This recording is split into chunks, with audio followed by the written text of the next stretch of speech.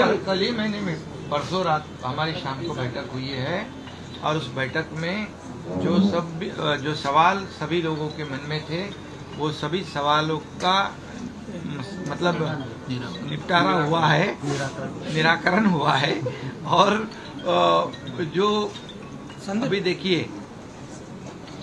अजीत दादा पवार जैसे मुख्यमंत्री जी ने कहा कि अभी यहाँ जब विपक्ष में थे तभी हमारे लोगों का भी, सभी लोगों का मेलजोल तो नहीं था ना उनके साथ।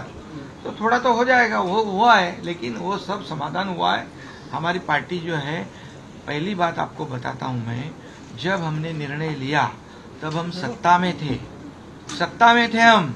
मेरे साथ आठ मंत्री थे, और सत्ता छोड़ने वाले हम लोग हैं। इसलिए हमारे विधायक जो है, सत्ता की लालच में ये साथ में नहीं आए हैं। ये पचास लोग आए सत्ता की लालच में, कुर्सी की लालच में नहीं आए। जो कुर्सी और सत्ता के लालच में, जो गलती 2019 में जिन्होंने की थी, उनको ये आज सब जो भुगतना पड़ रहा है, वो ये उनकी गलती है। हम सत्ता की लालच में नहीं, हमको मालूम नहीं मा- मालूम था क्या क्या होने वाला आगे। हम तो सत्ता से बाहर आ गए।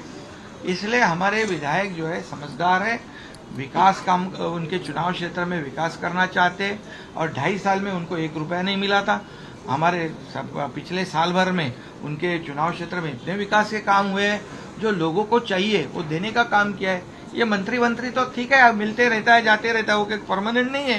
तो इसलिए ऐसा कुछ सोचो मत, ये जो है, ये विपक्ष वाले बार बार ये अफवाह फैला रहे बोले मुख्यमंत्री नाराज़ है, बोले यहाँ तक बोले कि मुख्यमंत्री इस्तीफा देने वाले हैं, या क्या करने वाले हैं, ये सब उनके मन गढ़ंत कहानी है।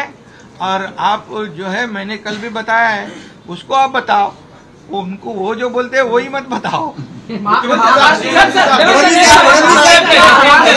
महाराष्ट्र में शरद पवार और उद्धव ठाकरे दोनों लोग दौरे पर जा रहे हैं और दोनों का कहना है सरकार के खिलाफ जनता को खड़ा करेंगे अरे अच्छा है ना जाने दो ना क्या प्रॉब्लम है अबे हम लोग जा जाते हैं हज़ारों लोग आते हैं हम तीन जाएँगे हम तीन जाएंगे। फडणवीस साहेब फडणवीस साहेब फडणवीस साहेब।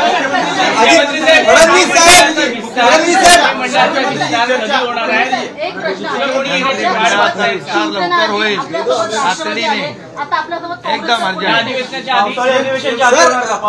अजित पवार यांच्यासोबत नव्वद तेराचं काही जागा वाटलं